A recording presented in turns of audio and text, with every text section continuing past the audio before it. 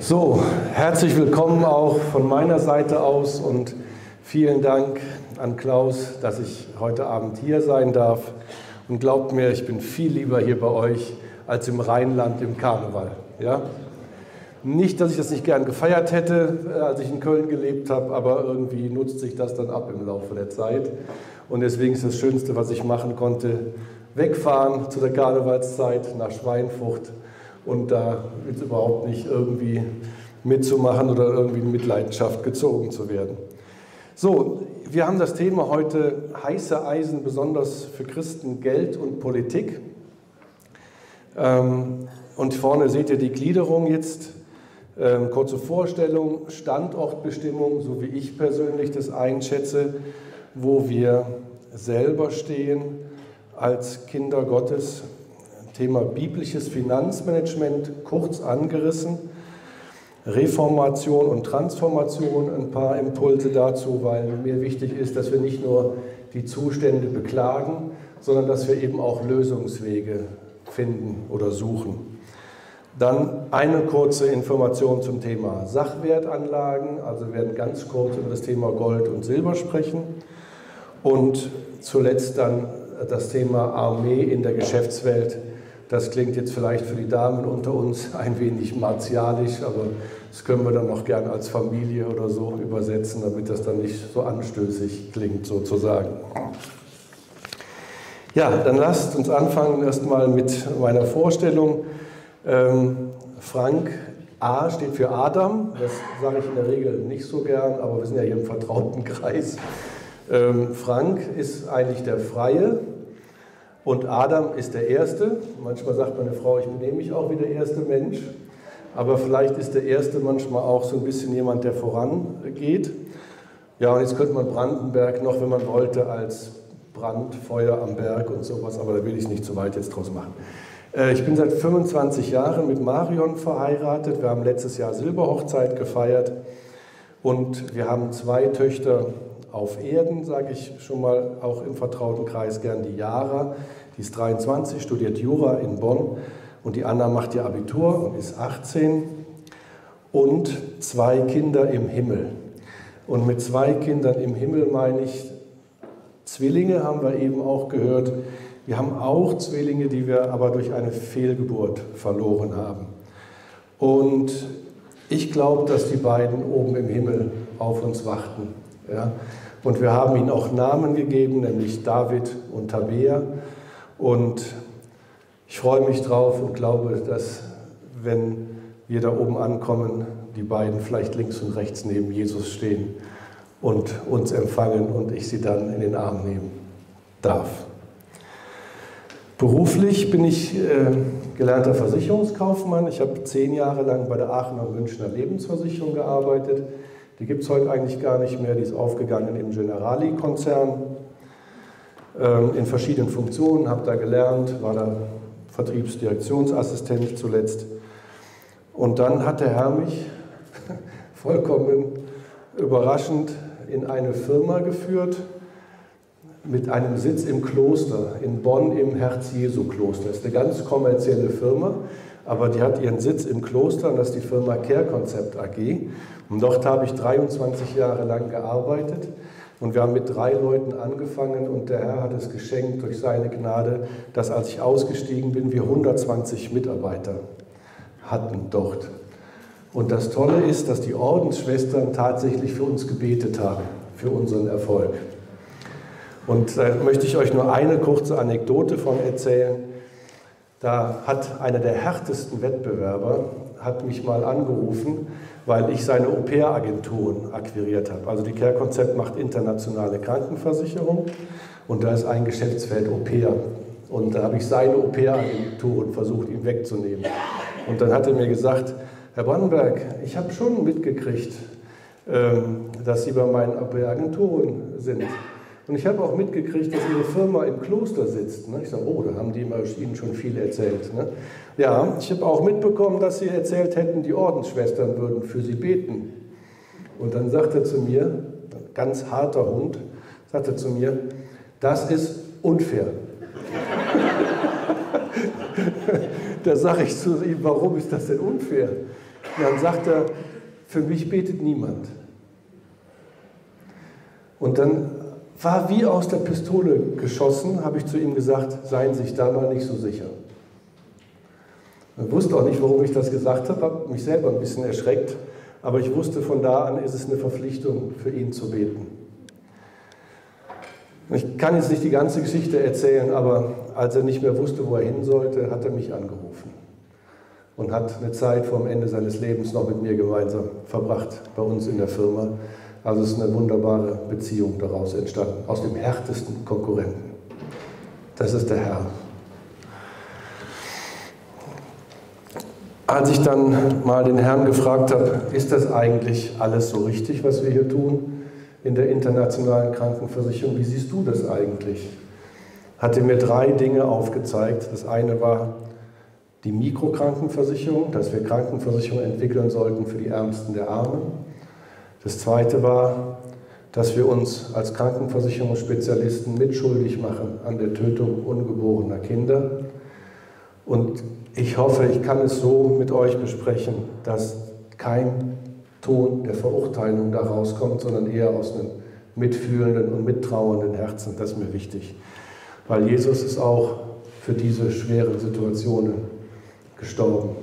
Aber als ich ihn gefragt habe, wo ist die Not in unserem Land am größten, kam mal ein Brief bei Care-Konzept ein, auf dem drauf stand sinngemäß, das Blut der getöteten Kinder schreit vor Gottes Thron.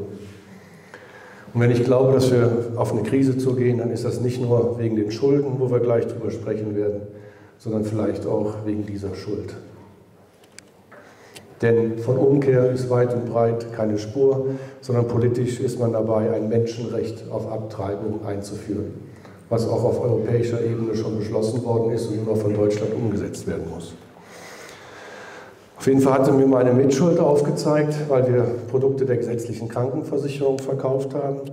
Das ist ja so, dass die gesetzliche Krankenversicherung die Vorfinanzierung macht und die kriegt das dann von den Länderhaushalten zurückerstattet. Damit sind wir Steuerzahler alle dran. Das denke ich ist auch eine coole Strategie vom Feind, dass er uns alle mit da ins Boot nimmt, was die Schuld betrifft. Ähm, 44 Millionen Euro sind die Subventionen, die jährlichen Subventionen, die der Staat ausgibt zur Tötung ungeborener Kinder. Nur mal, um so ein paar, paar Eckdaten zu nennen. Ähm, seit 18 Jahren bin ich Geschäftsführer der christlichen Kooperationsbörse. Das ist die größte Online-Plattform christlicher Unternehmer. Das ist kein weiterer Verband, so die Christen im Beruf, sondern das ist eigentlich das Online-Netzwerk, bei dem wir die Verbände, die Teilnehmer der Verbände vernetzen wollen. Also wenn man jetzt sucht, gibt es ja Christen, christliche Unternehmer in Schweinfurt, dann wäre ja auch nicht schlimm, wenn man jemanden von der ICCC finden könnte oder von IVCG oder von Faktor C, um vielleicht in gemeinsamen Kreis zu gehen oder um sie hierhin einzuladen, ja, weil ihr so eine wunderbare Gemeinschaft hier habt. Und dafür ist die christliche Kooperationsbörse da, dass wir nach Galater 6, 4 oder 6, Vers 10, tu Gutes allermeist an des Glaubensgenossen wieder lernen. Also, dass wir füreinander da sind, Aufträge einander geben, auch wenn man mal schlechte Erfahrungen gemacht hat, das vielleicht vergibt. Und ja, dass man einfach auch über die Verbände hinaus auch die anderen christlichen Unternehmer kennenlernt. Da gibt es ja noch den BKO, Bund katholischer Unternehmer, den Arbeitskreis evangelikaler Unternehmer und so weiter und so weiter. Seit 15 Monaten bin ich noch stellvertretender Bundesvorsitzender von Bündnis C. Das ist die letztverbliebene christliche Partei in Deutschland. Und das ist auch der Grund, warum wir das Thema Geld noch ein wenig bis in die Politik gedehnt haben, sozusagen. Ähm, die haben nichts zu kamellen, Bündnis C. Ja, die sind ganz klein. Aber wenn ihr das Parteiprogramm lesen würdet oder die, die programmatischen Inhalte, würde euch das Herz aufgehen. Ja, weil ihr sowas niemals in einer anderen Partei finden würdet. Und wir halten so lange die Fahne hoch, bis Christen eine christliche Partei wählen. Das Problem sind die Unterstützungsunterschriften. Denn ohne Unterstützungsunterschriften kommt man nicht auf den Wahlzettel und ohne auf dem Wahlzettel zu sein, kann man nicht gewählt werden.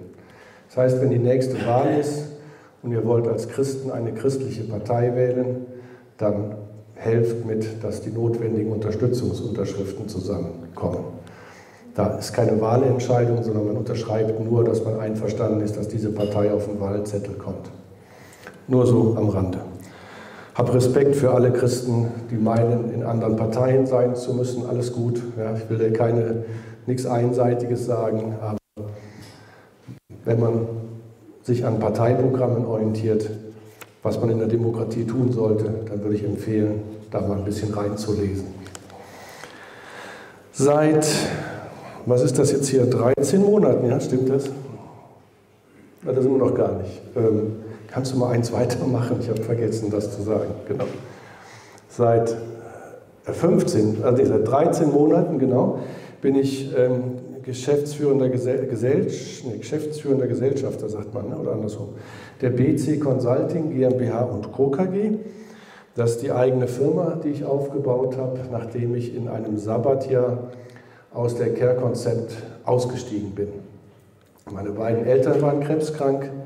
Sie hatten einen Rechtsstreit, den ich, um den ich mich kümmern musste. Meine Frau hatte eine Bandscheiben-OP, eine schwere, war ein halbes Jahr ausgefallen. Und ich dachte, oh, der Herr gibt mir Kraft und er hilft mir und das klappt schon alles. Ja, ich mache das. Und dann hatte ich auf einmal 200er Blutdruck und mein Chef und ich, der mein Freund auch ist, hat zu mir gesagt, willst nicht mal ein Auszeitjahr nehmen, mach mal ein Sabbatjahr.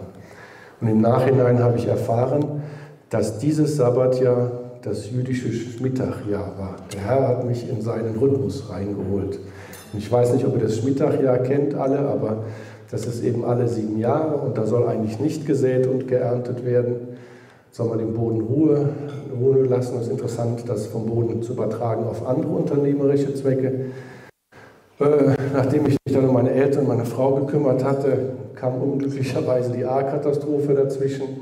Und danach habe ich dann zweieinhalb Monate an der A verbracht, jeden Tag und Schlamm geschaufelt. Vielleicht war der ein oder andere auch mit dabei, weil viele ja geholfen haben aus der Bundesrepublik. Und das hat so viel Mut gemacht, all die Leute zu sehen, die aus fern, von ferne kamen. Ich war da, weil ich Freunde da habe, aber viele waren da ohne Freunde. Und dann wird man nochmal nachdenklich und überlegt sich, was wirklich so wichtig ist im Leben. Und das war vielleicht eine Art, ja, eine Art Testballon für Krisen oder so, ich weiß es nicht. Aber man lernt, man lernt da viel, was wirklich wichtig ist. Und so zwei, drei Dinge sind mir da in Erinnerung geblieben. Der eine Satz war, hat jemand, äh, äh, habe ich zu ihm gesagt, ich sage, ich finde das so toll, dass du hier bist aus, was weiß ich, der war aus Berlin oder irgendwie sowas. Und dann sagt er, äh, das ist doch selbstverständlich, das hättest du doch auch getan. Hätte ich nicht getan. Habe ich nicht drüber nachgedacht, irgendwie als in Dresden Hochwasser war oder so, dass ich mich da auf den Weg mache und dahin fahre. Und das hängt mir bis heute so ein bisschen nach. Und das andere war, ich war immer sehr kritisch gegenüber jungen Leuten, weil die so viele Krankheitstage hatten, habe ich immer gesagt, wenn, wenn wir so viel krank gewesen wären wie ihr, hätten wir die Firma nicht so aufbauen können. Und dann kamen so viele junge Menschen über Social Media zusammengerufen und haben die Schaufel in die Hand genommen, junge Mädels und Jungs.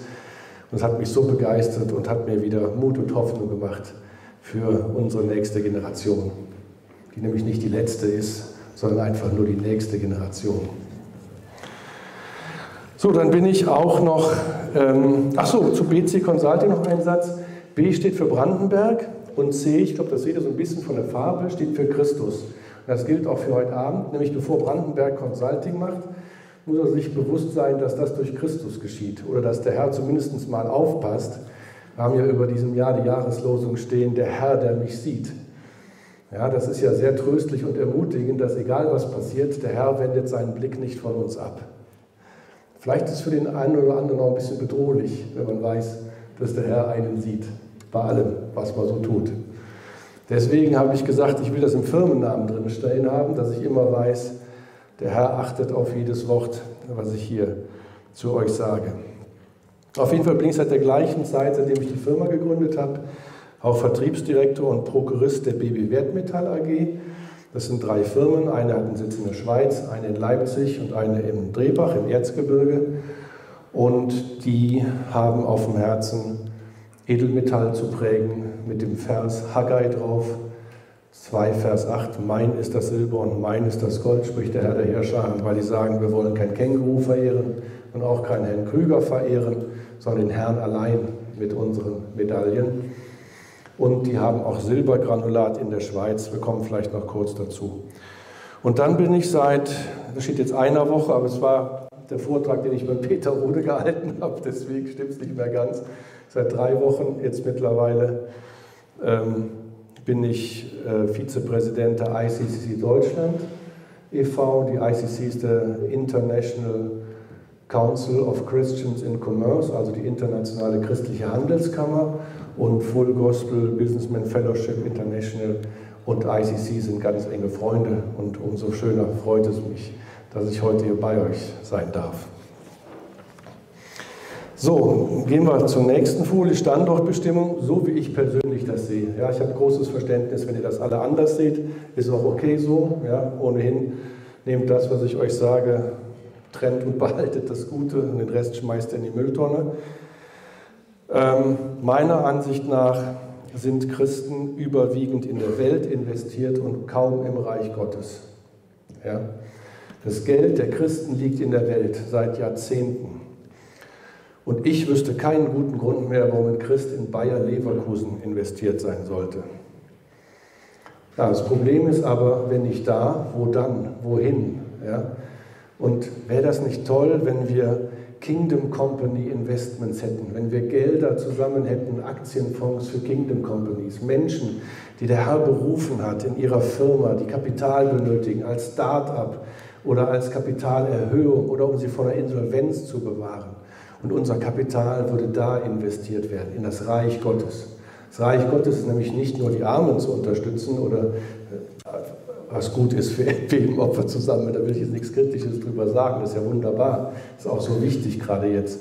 Aber ich will sagen, es ist auch besser, das zu investieren in Reich Gottes Unternehmen, weil damit wird Reich Gottes gebaut, als in die Welt, weil damit wird die Welt gebaut. Ja? Und auch da haben sich christliche Finanzdienstleister mitschuldig gemacht. Ich auch.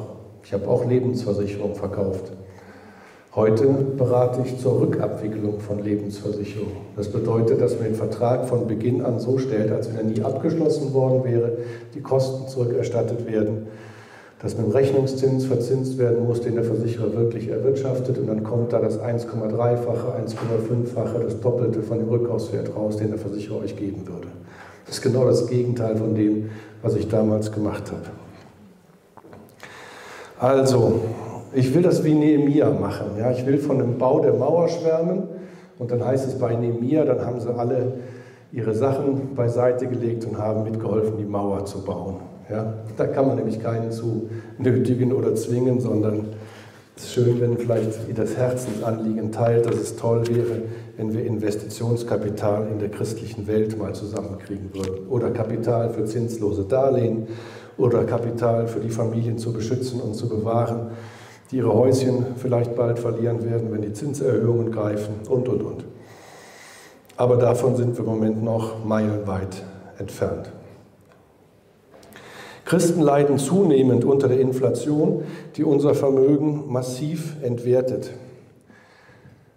Als ich angefangen habe bei Baby Wertmetall, war gerade der Übergang im Januar letzten Jahres von einer schleichenden Inflation in eine galoppierende Inflation. Das heißt, wir haben immer zwei bis drei Prozent gehabt und dann hatten wir auf einmal fünf. Und dann hat man zwischendurch zehn. Und dann sagen sie, um uns zu beruhigen, ermittelt sind es ja sieben. Ist nicht mehr so schlimm. Ne? Die Teuerungsrate im Januar liegt bei 8,4 Prozent. Das heißt, unser aller Geld verliert jedes Jahr zwischen 7 und 10 Prozent. Rechnet euch das mal aus auf zehn Jahre, was das bedeutet. Und die 2 bis 3 Prozent Inflation waren auch kein Grundgesetz im Übrigen. Das war auch schon Folge der massiven Verschuldungspolitik. Und lasst euch nicht einreden, das wäre durch den Krieg gekommen. Das war alles schon vorher, war im Januar. Und 2 bis 3 Prozent auf 10 Jahre und 20 Jahre macht auch viel aus. Unser Problem ist nur, dass wir immer denken, 1 Euro heute wäre auch noch 1 Euro in 10 Jahren. Das ist aber so nicht. Das war auch noch nie so. Aber jetzt schon dreimal nicht mehr. Und da leiden wir drunter. Wir verlieren das Geld. 10.000 Euro auf dem Sparbuch, ein Jahr vorbei, 10% weniger, um es jetzt mal einfacher zu rechnen, 9.000 Euro. Noch ein Jahr vorbei, 8.100 Euro oder so. Ne? Also nur mal so. Christen schwanken zwischen Armutsgelübde und Wohlstandsevangelium. Also die einen sind, die sagen, ich will gar kein Geld haben. Ja, bist du nicht Franziskaner und so Armutsgelübde, ich brauche gar nicht. Geld ist böse, will ich nichts mehr zu tun haben. Findet man auch oft in der Gemeinde diese Einschätzung. Und die anderen sagen, es geht nur dem, den der, Gott, den der Herr segnet, den Gott segnet, dem geht es gut, finanziell. Ja, das ist auch falsch. Also da kann es auch Wüstenzeiten geben, wo der Herr jemand durch die Wüste führt und er kann trotzdem gesegnet sein. Und vor allen Dingen ist er auch geliebt vom Herrn, egal ob er viel Geld hat oder nicht. Paulus hat gesagt, ich kann mit viel und ich kann mit wenig. Und das sind aber so die Extreme, die man da so findet. Und deswegen ist eine gesunde Geldlehre unheimlich wichtig. Nicht, weil dem Herrn das Geld so wichtig wäre, sondern weil er gesagt hat, wer im geringsten treu ist, den werde ich über Größeres setzen. Und das Geringste ist für ihn das Geld. Das heißt, wenn wir im geringsten treu umgehen, setzt er uns über Größeres. Und das Größere ist, dass wir die Leute von der Hölle rausreißen oder bevor sie da auf den Richtungen unterwegs sind, dass wir die Seelen der Menschen erretten. Das ist das Größere. Und der Herr stellt das in eine unmittelbare Beziehung. Ich komme vielleicht drauf, aber ich sage es jetzt mal direkt, bevor ich es vergesse. Ähm, Billy Graham hat gesagt, unser Bankkonto ist ein theologisches Dokument. Es zeigt, wen oder was du wirklich verehrst.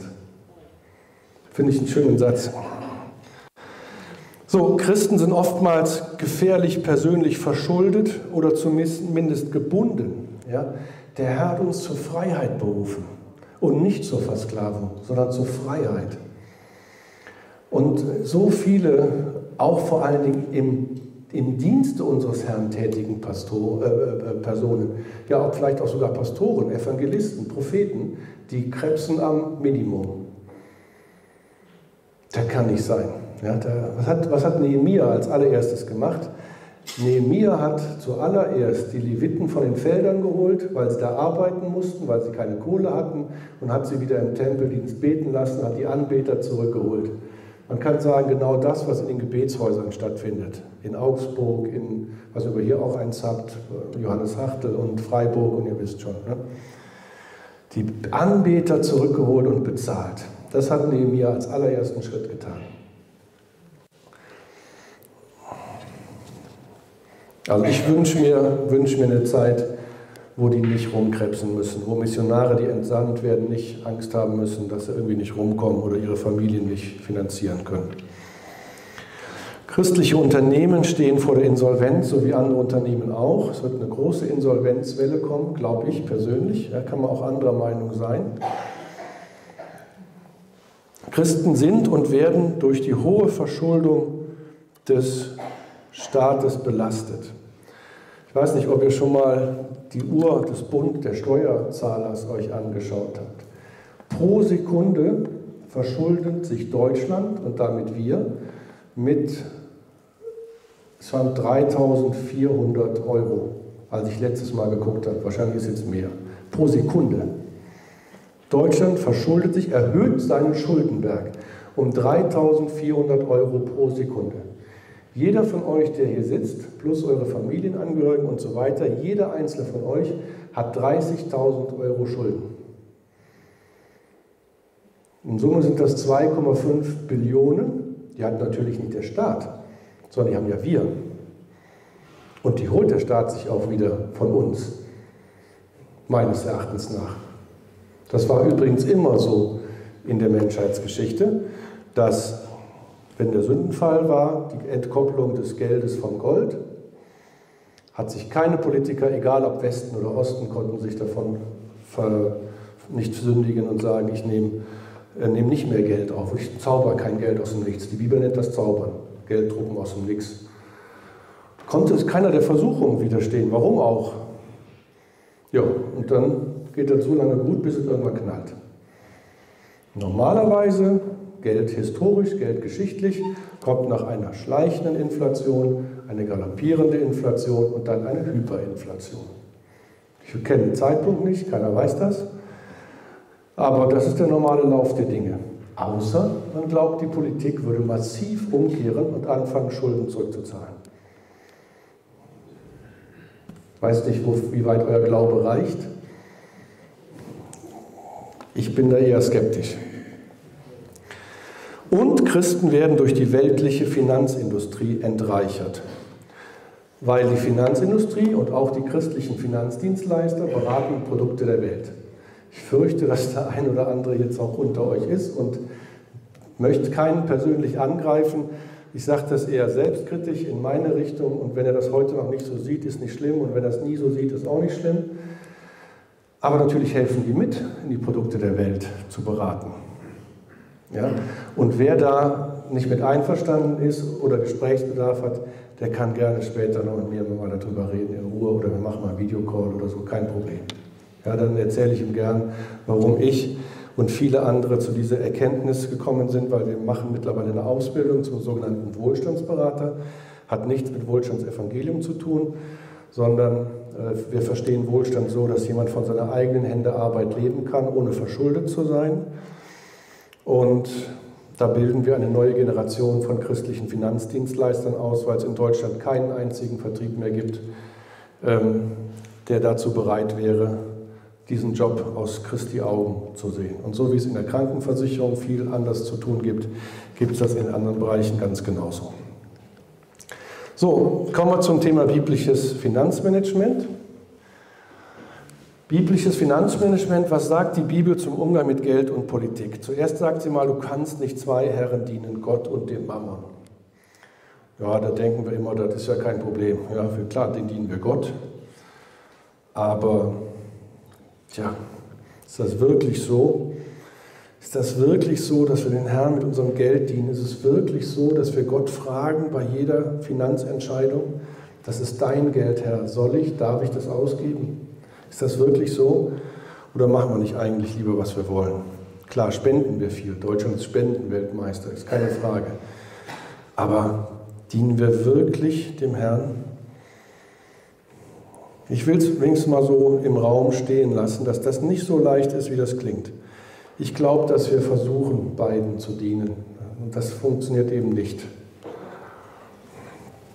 Das wird auch so schön anschaulich wenn man das in anderen Übersetzungen liest mit Sklave, also man kann nicht der Sklave von zwei Herren sein. Das geht auch nicht. Da sagt der eine, komm mal hier arbeiten, da sagt der andere, nee, da musst du aber jetzt hier hinkommen. Das geht auch nicht. Und das ist kein leichter Job, da rauszukommen aus meiner Sicht, aber es ist einer, der es wert ist, daran zu arbeiten, bis an die Wurzeln und das rauszuholen. Weil das ist wie bei Ägypten und Israel. Israel kam aus Ägypten raus aber Ägypten kam nicht aus den Köpfen von Israel raus. Deswegen haben die nachher rumgenörgelt. Boah, da hatten wir wenigstens was zu essen. Ja, hier sind wir Kacke in der Wüste und haben nichts zu futtern. Und da war doch gar nicht so schlecht in Ägypten. Da war Ägypten noch in den Köpfen der Israelis drin, ja, der Israeliten drin. Und so ist auch Mammon, selbst wenn wir glauben, wir hätten es gepackt, ist noch in unseren Köpfen drin. Ja, zum Beispiel ich kann ganz schwer nur an so einem roten Preisschild, so einem Preissenkungsschild vorbeilaufen. Ja, aber ich bin so ein Schnäppchenjäger-Typ. Ja, also da gibt es so ein paar Dinge, da habe ich immer gedacht, boah, der Judas, wie bescheuert ist der denn? Für 30 Silberlinge den Herrn verraten. Ich, hat der Herr mich überführt, wo ich ihn überall schon verraten habe. Das war keine gute Idee, abfällig über Judas zu reden. Urteilt nicht, dass ihr nicht verurteilt werdet. Dann heißt es, alles Böse wächst aus der Habgier der Geldliebe in Timotheus 6,10. Alles Böse wächst aus der Habgier. Es gibt in der Bibel 2350 Stellen über den Umgang mit Geld, Vermögen, Gold, Silber, Schulden. 2350. Als junger Mann hat mich das ein Scheiß interessiert, Entschuldigung jetzt die Formulierung, also hat mich nicht interessiert. Und deswegen habe Scheiß gesagt, weil ich mich so darüber ärgere, dass ich dann eine Bürgschaft aufgenommen habe, 30.000 Euro für einen griechischen Konsulatsbeamten in Hamburg, weil ich dachte, es wäre ein seriöser Beruf. Und der hat sich dann abgesetzt nach Griechenland. Und dann habe ich mal erst mal gemerkt, dass es kein Einwohnermeldeamt in Griechenland gibt. Und die Bank hat mich schön in Anspruch genommen. Was sagt die Bibel zum Thema Bürgschaft? Bürge nicht. Nicht, niemals, überhaupt nicht. Nicht gekannt, nicht gewusst, nicht gehört, nicht gelernt. Lehrgeld bezahlt. Der Schuldner ist ein Sklave seines Gläubigers. Wenn es einen Politiker in der Regierung gäbe, der wüsste, dass der Schuldner ein Sklave seines Gläubigers wäre, würden wir vielleicht weniger Schulden aufnehmen. Und wer von euch mal sein Häuschen abbezahlt hat und diesen Moment der Freiheit erlebt hat, der weiß, wovon ich rede. Oder wer, so wie ich auch, mit einer 100% Finanzierung sein Häuschen gekauft hat, hat gespürt, wie er versklavt ist. Aber die gute Nachricht ist, der Herr will euch in Freiheit führen. Das heißt, allererstes Gebot ist, raus aus Babylon, mein Volk, und raus aus den Schulden, so schnell wie irgend möglich. Schichtet alles um, kündigt alles, was ihr habt und guckt, dass ihr von den Schulden loswerdet. So schnell es irgend geht, egal was die Steuer sagt, egal was die Welt euch sagt, raus aus den Schulden, schnellstmöglich. Und da heißt es in Offenbarung 18.4, kommt heraus aus ihr, Babylon ist damit gemeint mit dem ihr, mein Volk, damit ihr keinen Schaden an ihr nehmt und nicht leidet unter ihren Plagen. Babylon steht für vieles, aber auch für die Geldentwicklung, weil Geld historisch ist in Babylon, in Mesopotamien, im Zweistromland das Geld entwickelt worden. Deswegen könnte man sagen, wenn man wollte, kommt heraus aus dem Weltfinanzsystem mein Volk, damit ihr keinen Schaden an ihr nehmt und nicht leidet unter ihren Plagen. Ich glaube, dass die Finanzkrisen dazu angetan waren, dass das Volk Gottes herausgeschüttelt wird aus dem Weltfinanzsystem. Das haben wir aber nicht verstanden. Aber erschüttert wird, was erschüttert werden kann. Und ich würde eher vorschlagen, wir gehen jetzt raus. Dann kommen wir Ah, das war, das war ein Tusch sozusagen darauf. Ein Tusch auf diese Aussage. Ich würde vorschlagen, wir sollen jetzt rausgehen. Danke, der Herr unterstützt mich bei dem, was ich hier sage. Kommt heraus aus ihr, mein Volk, damit ihr keinen Schaden an ihr nehmt und nicht leidet unter ihren Plagen. Heraus aus den Schulden so schnell wie möglich. Heraus aus den Anlagen dieser Welt so schnell wie möglich. Ja? Lebensversicherung, Rentenversicherung, falls einige unter euch sind. Paragraph 134 VAG. Wenn eine Lebensversicherungsgesellschaft in eine wirtschaftliche Notlage kommt, darf sie die Rückkaufswerte nicht mehr auszahlen. Kein Kunde kennt diesen Paragraphen. Wenn euch der Paragraph an sich nicht stutzig macht, dann sollt euch stutzig machen, dass kein Lebensversicherungskunde in Deutschland und ich meine auch Rentenversicherungskunde in Deutschland über diesen Paragraphen informiert worden ist. Aktuell sind fünf bis zehn Lebensversicherungsgesellschaften in wirtschaftlich prekärer Lage unter besonderer Beaufsichtigung des BAFI. Und der Chef der Allianz Lebensversicherung hat vor zwei Jahren gesagt, in den nächsten Jahren werden einige Lebensversicherer pleite gehen. Und die Branche hat, drei große Konzerne haben ihre Bestände an sogenannte Run-Off-Gesellschaften im Ausland verkauft. Ich habe das gelernt, den Job, ich wusste gar nicht, dass das möglich ist. Die AXA hat 940.000 Verträge an Heuschrecken verkauft auf den Bahamas. Versicherten Verträge von Lebens- und Rentenversicherungskunden. Ich sage euch das nur an einem Beispiel der Lebensversicherung. Ich könnte das über Aktien machen, über Bausparverträge und so weiter. Ich sage es euch nur an dem Beispiel, weil ich das gelernt habe, die ersten zehn Jahre in meinem Berufsleben. Mein Rat ist, kommt heraus. Und wenn die Leute sagen, ja, wohin denn? Dann sage ich zu Jesus.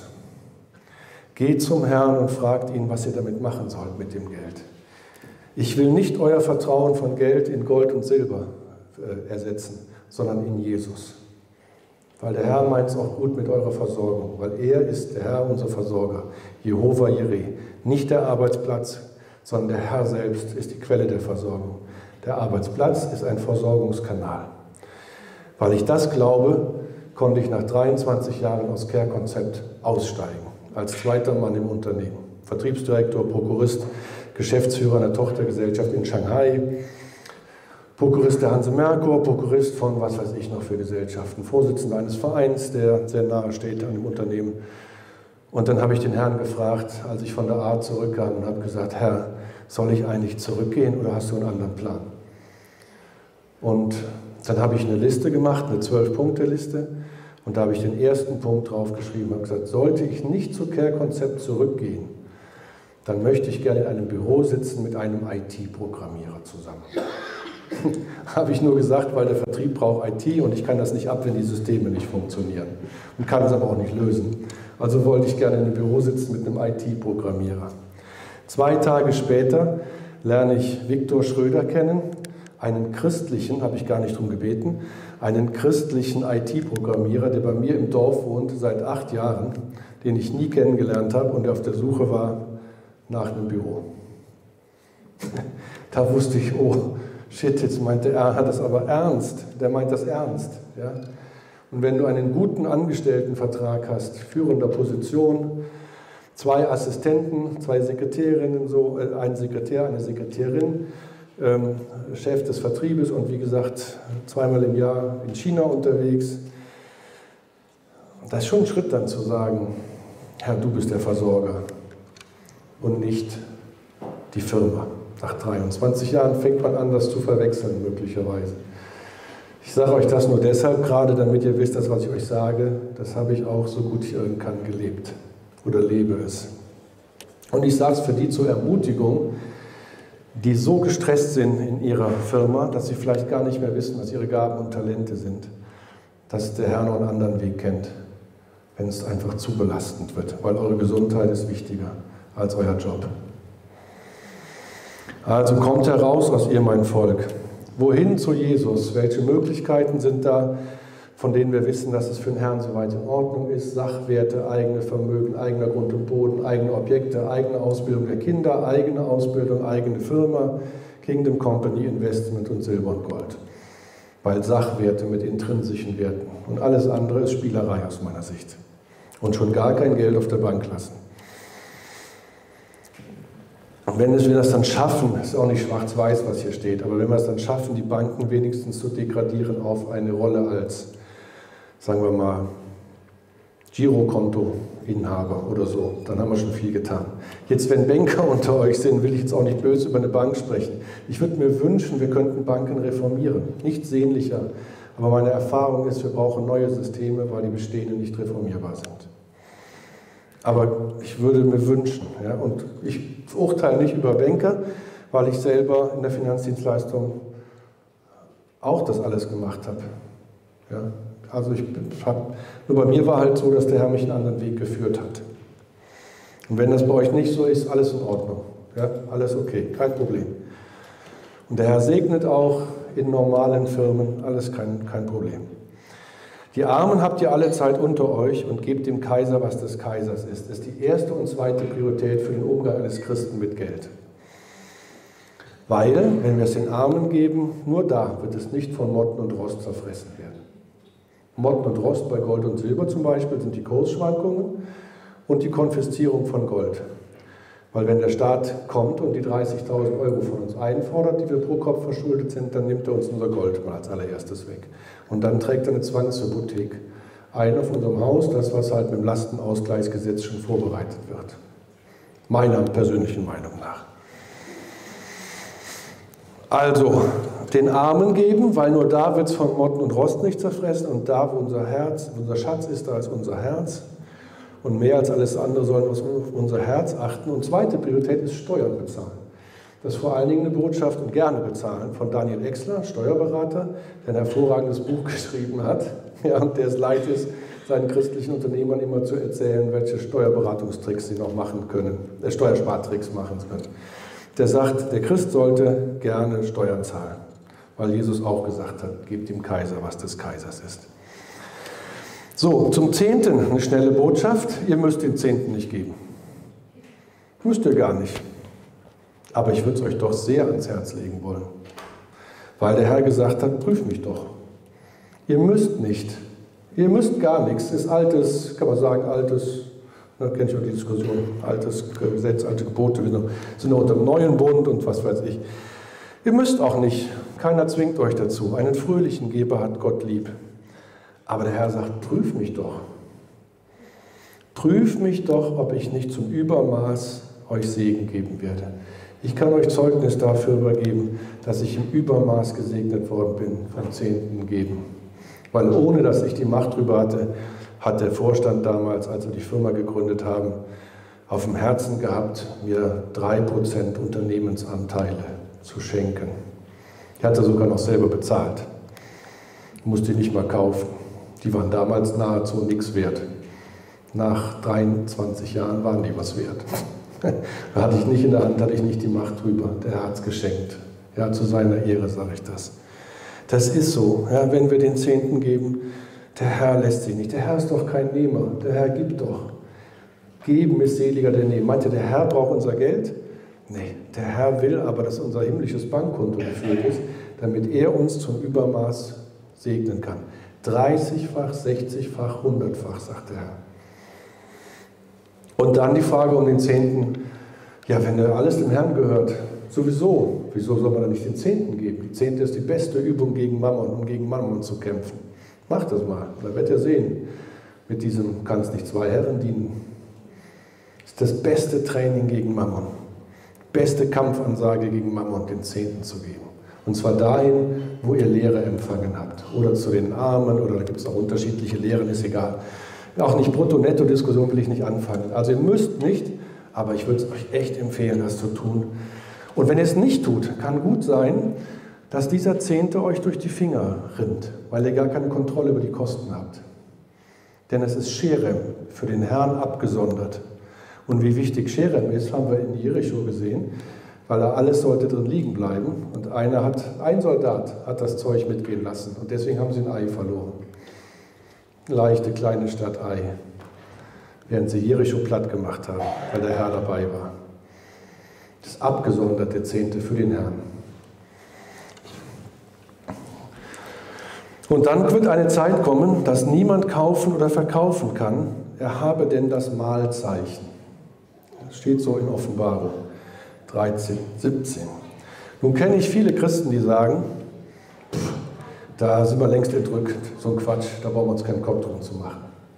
Wenn ihr aber wie ich 17 Jahre in China wart und habt die Einführung des Social Scorings live erlebt, übrigens ein Punktesystem, was von 333 bis 999 geht, wo die Chinesen vom Bargeld die Kreditkarte übersprungen haben ins Handy-Payment direkt hinein und die Regierung heute ganz locker über das Handy-Payment verfügen kann und kann abschalten, wer einen internationalen Flug noch machen kann, wer einen Hochgeschwindigkeitszug noch nehmen kann, wer vielleicht auch einen langsameren Zug nehmen kann, der weiß, dass das heute für 1,4 Milliarden Menschen schon Realität ist.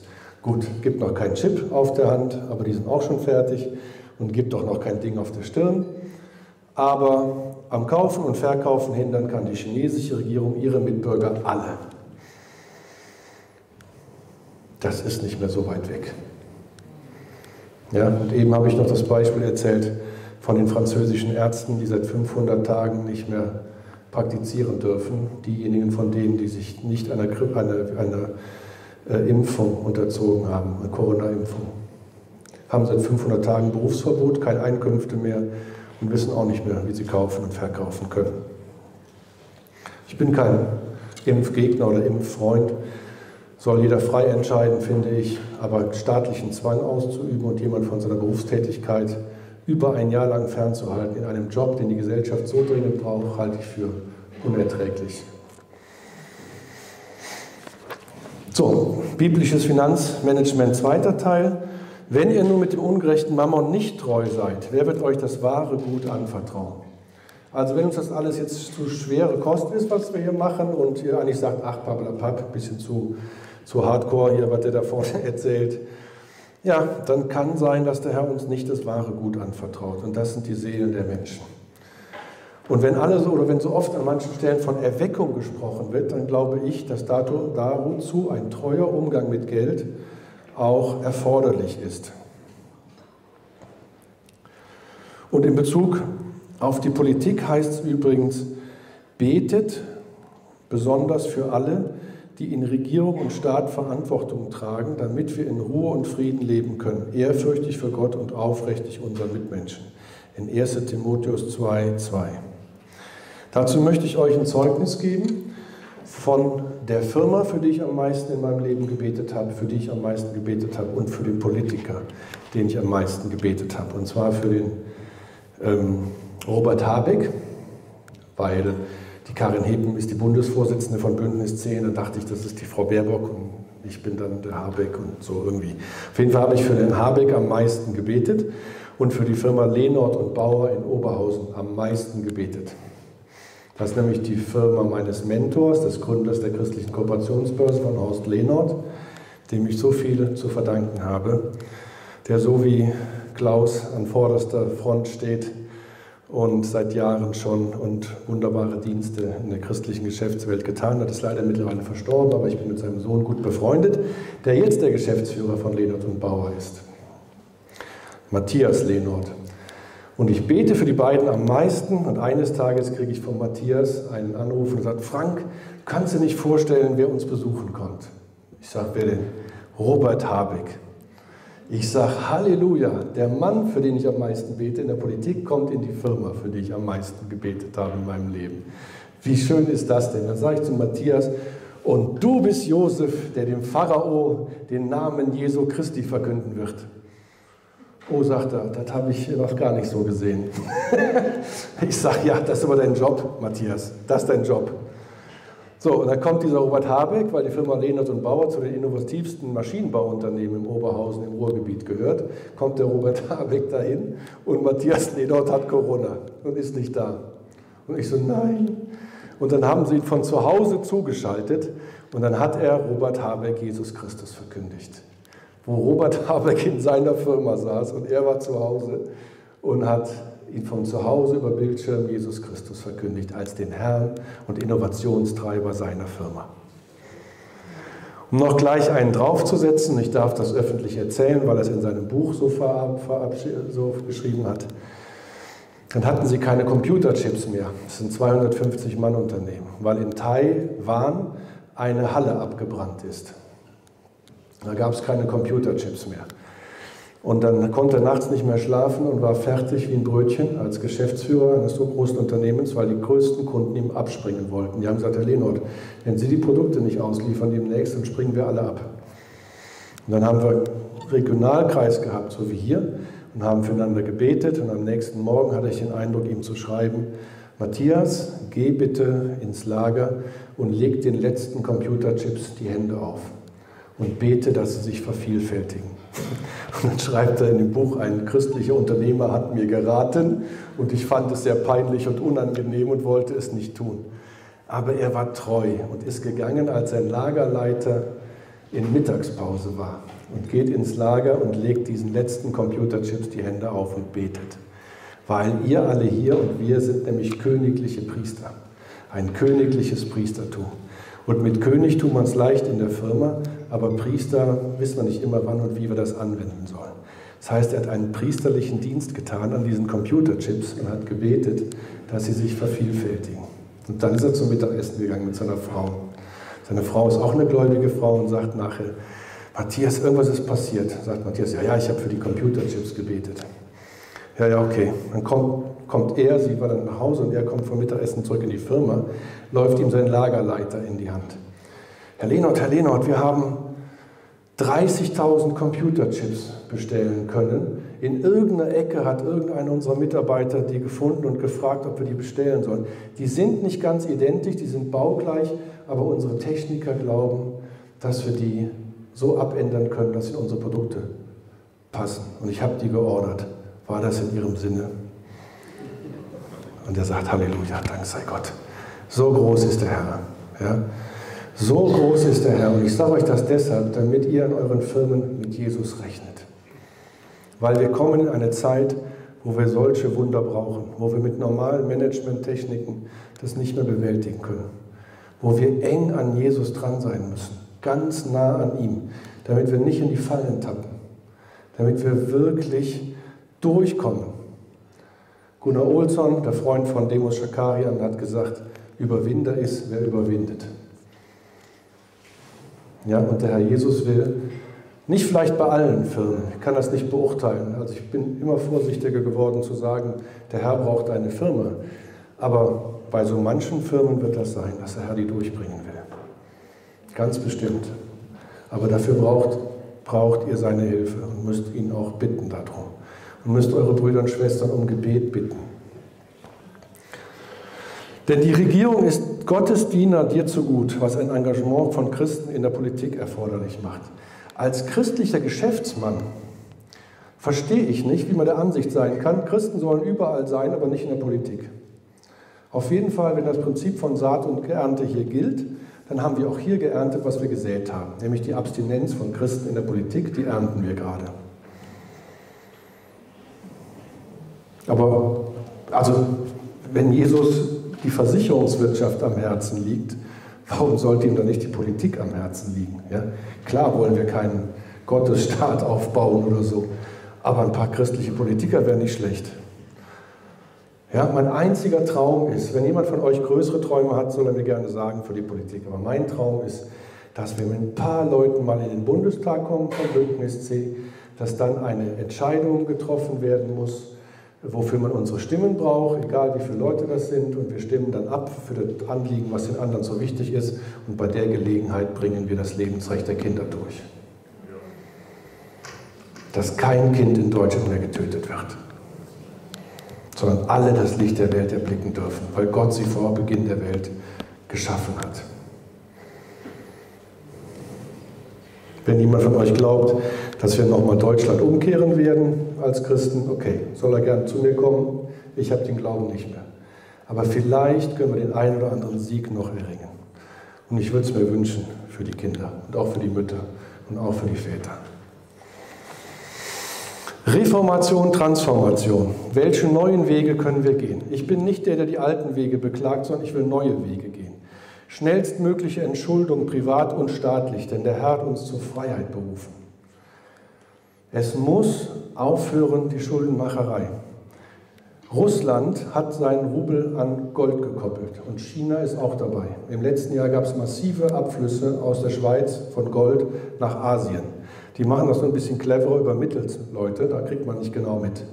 Aber wenn China den RMB an Gold koppelt, und wir meinen, dass High Lake im Schulden machen, dann werden wir böse aufwachen, aus meiner Sicht. Ich bin kein Fan von Putin und von Xi Jinping, bei weitem nicht. Aber das finde ich clever von den beiden. Fiskalpolitisch.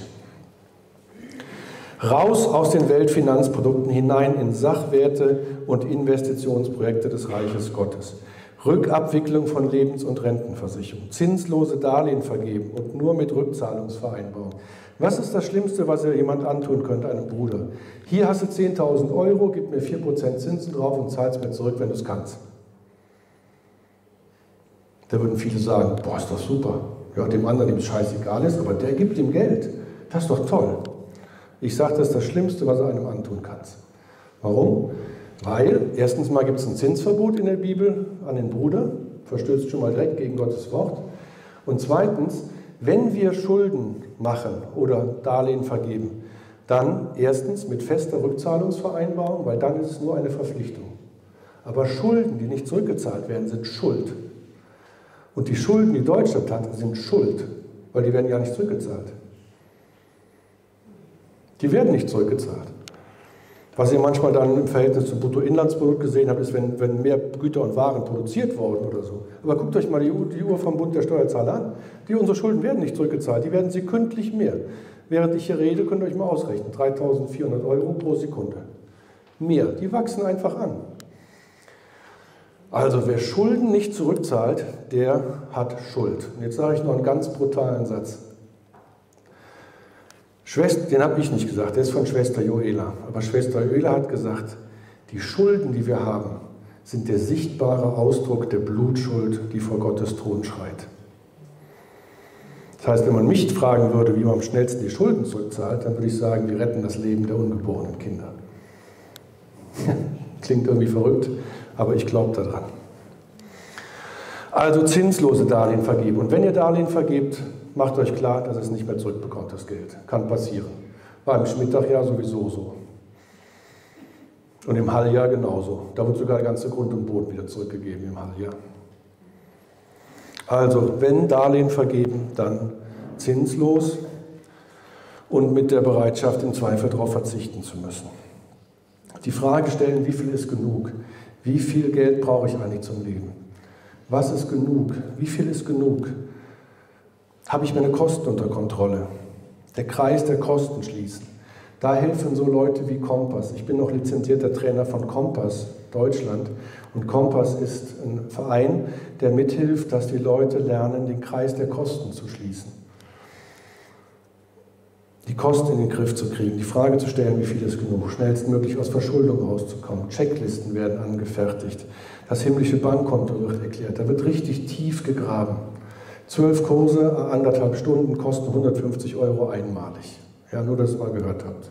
Informationen gern bei mir darüber, wenn ihr das möchtet. Ob ich nun wenig oder viel habe, beides ist mir durchaus vertraut und ich kann mit beidem zufrieden sein, hatte ich eben schon mal gesagt bei Paulus. Philippa 4, 12 heißt, ich habe meine Kosten im Griff. Dann kann ich auch viel oder auch wenig haben. Wenn ich dann mehr habe, habe ich zum Überfluss und kann es geben.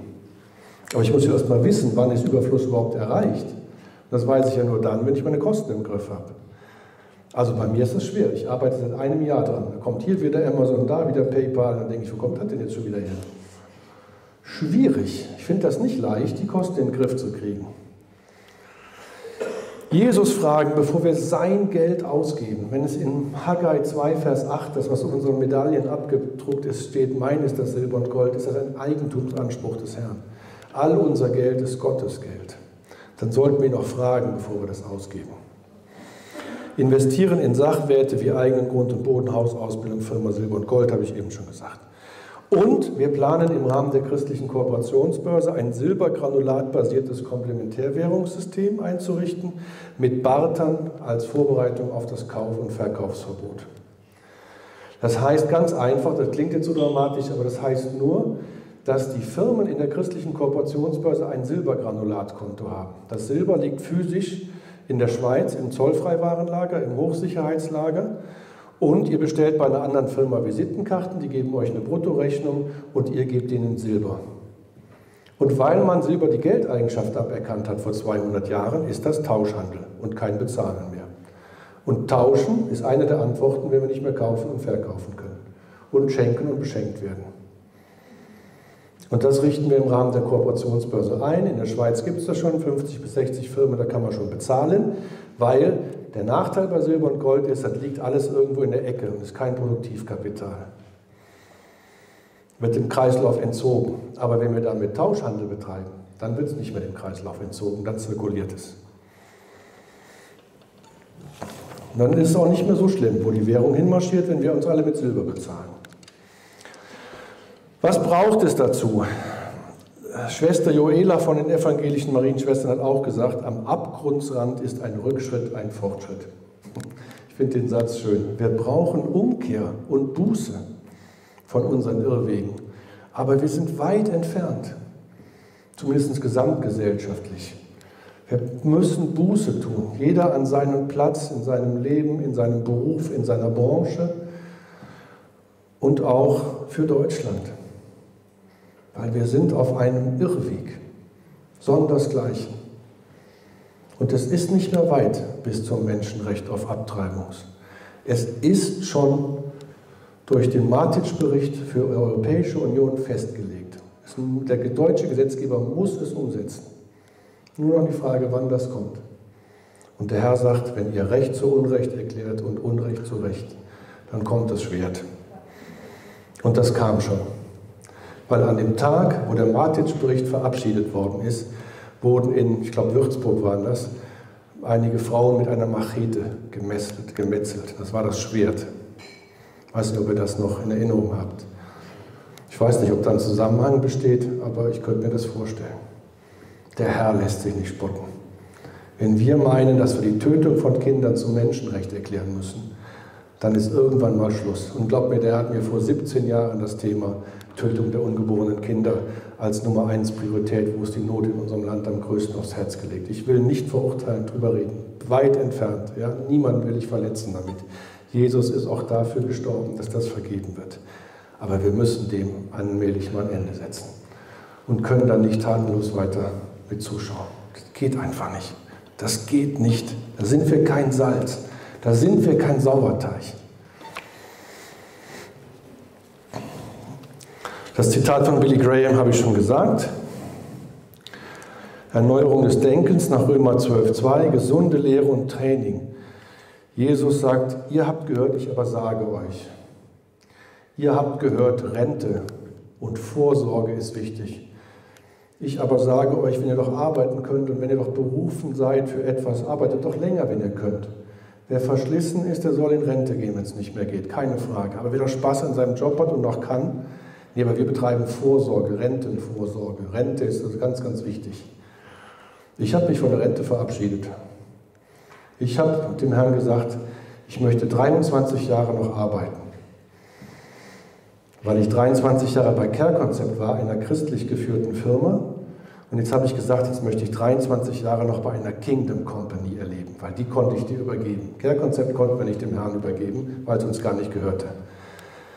Aber die BC Consulting, Herr, das ist deine Firma und ich möchte den Unterschied sehen. 23 Jahre Care-Konzept und 23 Jahre BC Consulting.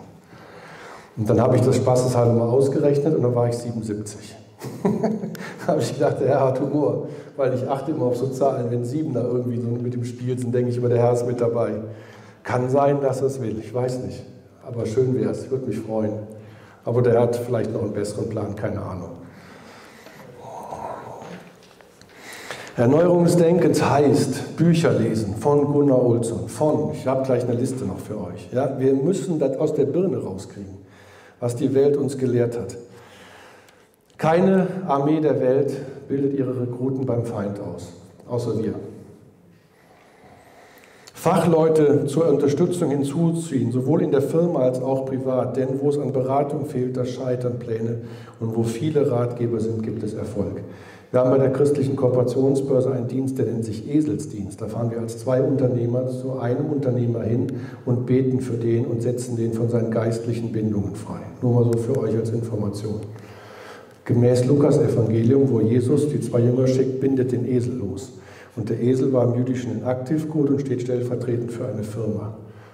Das heißt, zwei Unternehmer fahren zu einem Unternehmer und binden den los. Bei Gunnar Olsson findet ihr eine Hammergeschichte darüber in dem Buch Business ohne Grenzen, äh, was da passiert ist bei sowas. Und ich habe mittlerweile 20 dieser Dienste gemacht und es könnt euch auch stundenlang Geschichten erzählen, aber das wird zu viel jetzt.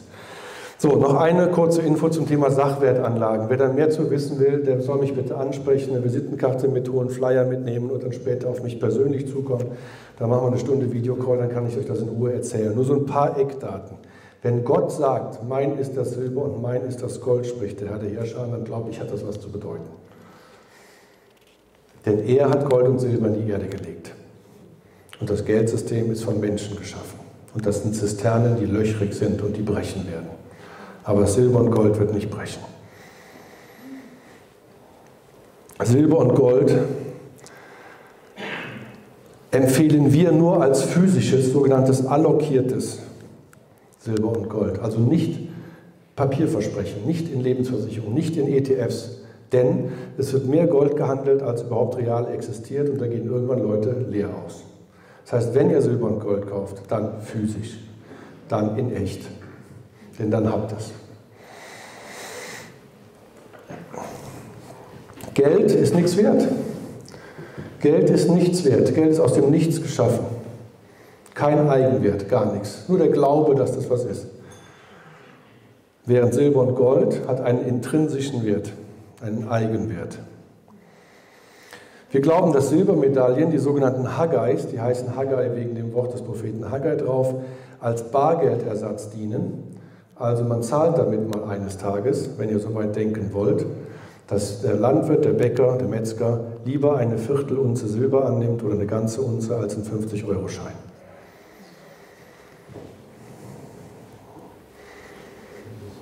Wenn das Geld, wenn der 50-Euro-Schein in 10 Jahren 8 bis 10 Prozent verliert und das Silber steigt, kann das in 10 Jahren passiert sein. Nur mal so für Rechenfreaks. Und Silbergranulat ist der Buchgeldersatz, wie eben geschildert. Ne? Da kann man dann bezahlen mit bei Firmen und sowas. Und man kann sofort umtauschen mit den Euro, was bei den Medaillen auch ein bisschen schwieriger ist. Dann habe ich euch das erzählt von dem silbergranulaten Komplementärwährungssystem und ich habe euch eben auch schon gesagt, wo Motten und Rost sind bei Silber und Gold. Ja, nämlich Konfiszierung von Gold haben die Staaten immer gemacht zu allen Zeiten und die Kursschwankungen und die Manipulationen der Banken beim Silber. Banken manipulieren Silber, weil die Silber- und Goldkurse sind wie ein Fieberthermometer für die Währung und wenn das zu stark steigt, dann pushen die das verkaufen große Mengen, damit nicht der Eindruck erweckt wird, als wenn der Währung schlecht ging. Die Tagesschau hat im Januar, als ich anfing, damals getitelt vor einem Jahr, hat gesagt, Gold hat während der Corona-Krise um 15 Prozent zugelegt. Das würde ich so nicht formulieren. Ich würde sagen, die Währung hat gegenüber Gold um 15 Prozent verloren. Warum? Weil in Gold denken ist ein guter Ratschlag, den ich euch noch mit auf den Weg geben will. Nicht in Euro denken, nicht in einer fallenden Währung denken. Lasst uns lernen, in Gold zu denken, weil Gold ist mehr wertstabil als der Euro. Ist nicht die Allround-Lösung, nicht alles Gold, was glänzt. Da gibt es üble Stellen über Silber und Gold, dass unser Fleisch verbrennen wird, wenn wir zu viel Silber und Gold gehortet haben. Das ist kein Spaß. Ja. Es gibt das ungerechte Sparen in der Bibel, wie beim reichen Kornbauer. Zu viel zurückgelegt, nur für sich, verurteilt der Herr. Du Narre, morgen werde ich das Leben von dir nehmen. Und auf der anderen Seite die Talente, wo es nicht nur um Gaben und Fähigkeiten geht, wie die Gemeinde das lehrt, sondern um echt Kohle und um das Vermehren von Geld. Und ich glaube nicht, dass es Vermehren von Geld ist, wenn wir zugucken, unser Geld jeden Monat oder jedes Jahr um 10% verliert. Selbst wenn wir irgendwo 2% Zinsen kriegen für irgendwas, ja Quatsch. Da verliert es halt 8 oder 6, das ist so Unfug. Das hat doch nichts mehr mit, vernünftiger, mit vernünftigem Umgang mit Talenten zu tun. So, wer hilft auf dem Weg zur Erneuerung, zur Transformation? Also einmal die Wohlstandsberater. Das ist der Versuch, die christlichen Finanzdienstleister neu auszubilden, dass sie nicht mehr die Produkte der Welt verkaufen, sondern Edelmetall, Rückabwicklung, Lebensversicherung und Geldkurse geben. Ich glaube, dass Geldkurse abzuhalten nicht die Aufgabe von Pastoren ist, sondern von christlichen Finanzdienstleistern. Und deswegen wird es einen ganz neuen Job geben und das sind die Wohlstandsberater. Mein Freund und ich in der Leitung, wir hatten vor anderthalb Jahren, Ende letzten Jahres, gesagt, wie viel Herr sollen wir ausbilden? 34 haben wir durch unterschiedliche Berechnungen ermittelt, kamen beide auf die Zahl 34. Er hat ganz anders gerechnet als ich. Da haben wir gedacht, boah, wenn der Herr uns beiden die Zahl 34 gibt, ist gut. Quersumme 7, da war ich wieder bei meiner 7 und war wieder happy. Und am Ende des ersten Jahres hatten wir exakt 34 Anmeldungen zur Ausbildung der Wohlstandsberatung. Also ich bin fest überzeugt, dass der Herr dabei ist. Kompass e.V. habe ich angesprochen, ist ein Verein, da geht es nicht um Geld, da geht es nicht um Produkte, da geht es nur darum, euch beizubringen, richtig und biblisch mit Geld umzugehen und Wege in die persönliche Freiheit zu finden im Umgang mit Geld. ICCC, Transforming Working Life Video Lehreinheiten, sind die besten Lehreinheiten, die es gibt für christliche Unternehmer aus meiner Sicht. Es gibt von Faktor C die Vibi-Bausteine, das sind auch so Ordner. Ihr habt auch Lehrmaterial, was ich noch nicht so, so gut kenne, aber und Büchertipps wollte ich euch noch geben. Ja, euers als allererstes natürlich, dann aber auch Gunnar Olsson, weil die beiden echt gute Freunde sind und die ähnliche Generation und wirklich alte, weise Männer sind, von denen wir noch so viel lernen können. Geld, der große Schwindel von Gottfried Hetzer, der belegt, warum das Weltfinanzsystem zwingend zusammenbrechen wird. Aber auch er kennt den Zeitpunkt nicht, aber auch er gibt den Rat, rettet euch zu Jesus und fragt ihn, was er dann tun soll mit dem Geld. Der Preis des Geldes von Wolfgang Sinson und Thomas Giudici, biblischer Umgang mit Geld von Daniel Exler und Die Krise was tun von Kurt Bühlmann. Das sind nur so ein paar Büchertipps, die ich euch geben wollte. So, dann möchte ich zum Abschluss noch was sagen zum Thema Armee in der Geschäftswelt, wo ich eben schon mal zu gesagt habe. Ich möchte euch wirklich empfehlen, täglich die Waffenrüstung Gottes anzuziehen. Das klingt jetzt so wie so ein Spruch vielleicht und ja, habt ihr alles schon mal gehört. Ich habe die Waffenrüstung Gottes in meinem Kleiderschrank hängen. Und jeden Tag, wenn ich mich anziehe, dann lese ich die. Und ich kann euch nur Zeugnis geben, das macht einen Unterschied. Ob du das Schwert des Wortes Gottes in der Hand hast und das Schild des Glaubens und den Gürtel der Gerechtigkeit, und, äh, den, den Gürtel der Wahrheit und den Brustpanzer der Gerechtigkeit und die Schuhe zur Bereitschaft zur Verkündigung des Evangeliums. Das ist kein Fares oder so. Ja, das ist wirklich wichtig. Und bei Rick Joyner, der hat die Prophetie von drei Armeen. Die erste, jeder ist bewaffnet, hochbewaffnet bis an die Zähne und sie marschieren in eine Richtung. Die zweite Armee, da haben die Generäle Holzschwerter in der Hand. Ich weiß das gut, weil da war ich auch mal, als ich einen Kollegen in der Leistungsabteilung verloren habe, der vom Alkohol heimgesucht wurde und ich nicht das Schwert des Wortes Gottes in der Hand hatte. Und eine dritte Armee, wo sie alle durcheinander laufen. Das ist die Armee Gottes. Unbewaffnet, zerrissene Lumpen. In der dritten Armee und nur die erste marschiert ordentlich. Zu marschieren miteinander, lass es Familie sein oder lass es Armee Gottes sein, aber lass uns das zusammen machen. Die Zeit von Einzelkämpfern ist vorbei. Achtet auf eure Brüder und Schwestern, die links und rechts von euch gehen. Macht mehr gemeinsam, schützt euch gegenseitig. Deswegen Vernetzung zum beidseitigen Nutzen. Christliche Kooperationsbörse. Mutkonferenz ist die Vernetzung der christlichen Unternehmerverbände und christliche Kooperationsbörse ist die Vernetzung der Teilnehmer, der Firmen aus den jeweiligen christlichen Unternehmerverbänden. Und Vernetzung bis hin zu Geschwistern in der Politik. Wie Bündnis C zum Beispiel. Tue Gutes allermeist eines Glaubensgenossen wieder neu entdecken den anderen segnen, den Bruder zuerst segnen. Ihr wisst doch, wem ihr dann Gutes tut, welcher Familie. Auch wenn es mal schiefgelaufen ist irgendwann. Wir alle haben schlechte Erfahrungen gemacht. Deswegen gibt es in der christlichen Kooperationsweise ein Schiedsgerichtsverfahren. Wenn man mit einem Christen Geschäfte macht, dann würde ich zuerst mal mit dem zusammen in die christliche Kooperationsbörse gehen.